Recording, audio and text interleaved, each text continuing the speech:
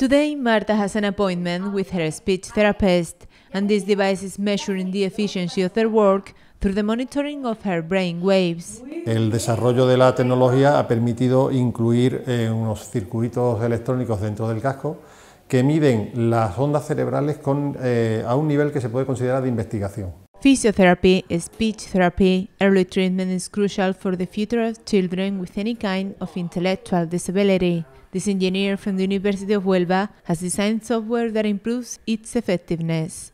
Connected to the helmet, it uses brain waves to measure attention and relaxation levels in children. This information is valuable for therapists because it is a tool that allows them to Determinar qué ejercicios son los más adecuados y más provechosos para el, para, el, para el, niño. Antes teníamos que hacer varias sesiones de tratamiento para evaluar si la actividad que realizábamos era la adecuada para ese niño o no. El casco lo que te ofrece es de forma objetiva qué nivel de atención está teniendo en ese momento y te da la opción de que si tú quieres aumentar esa atención, lo que hago es cambiar la actividad y voy probando. Andrés Mejías has designed this tool, still in experimental phase, with the collaboration of Aspromin, an association based in Huelva.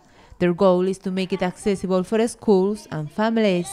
Nosotros nos gustaría que esto fuera un acicate para seguir investigando en otros proyectos igual o más interesantes que este.